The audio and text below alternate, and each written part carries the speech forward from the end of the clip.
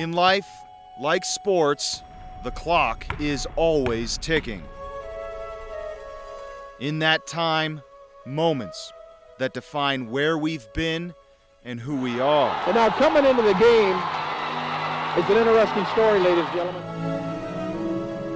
I'm uh, I'm ready for the challenge. I'll probably have some bad days. On Tuesday, February 16th, one such moment for Nuggets head coach George Karl. I still wake up. Oh, oh, shit, I have cancer. You know, I still haven't.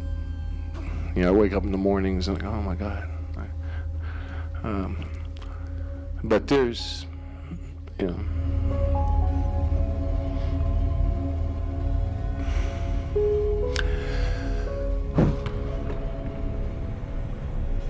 60 miles to the north, another story of basketball and cancer. It started around the end of the track season last year. Uh, I just felt like little bumps and stuff on my neck, and by the summer it got pretty pretty noticeable. One of my football coaches kind of pointed out, "It's like, what's that bump in your neck?" Garrett Karp is an 18-year-old student at Rocky Mountain High School. This summer, before the start of his senior year, he too came face to face with the disease. He basically told us July th- uh, 3rd that it was Hodgkin's lymphoma. I was hoping to be able to play basketball um, near the end of the season because my treatment was going to be done in December.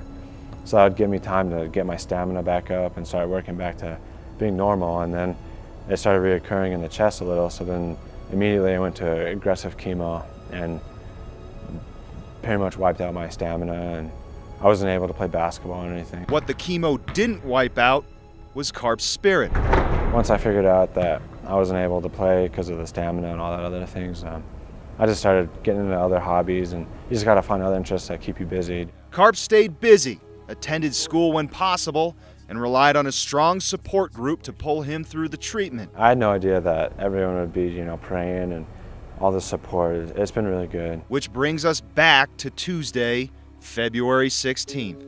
Karp and his family summoned to his doctor's office for the results of a PET scan, which detects the presence or absence of cancerous cells in the body. We walked in and he's like, um, the PET scan came out negative, so it's a state of remission. And we were all just, my mom and me and my dad were sitting there just in disbelief, like we haven't heard that word, you know, in forever. And we are hoping we would hear it soon, and hearing it was just like, we're remission, you know? It was like, it was surreal.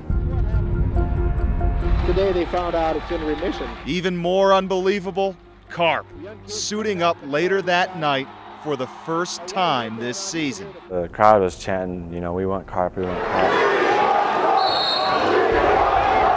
Which started getting my adrenaline rushing and me getting all pumped up. This kid scores a basket, it's going to be like they just won the state tournament. I was ready to go and I took the shirt off and everyone just started cheering and from then on it got very, very emotional. But the clock was ticking.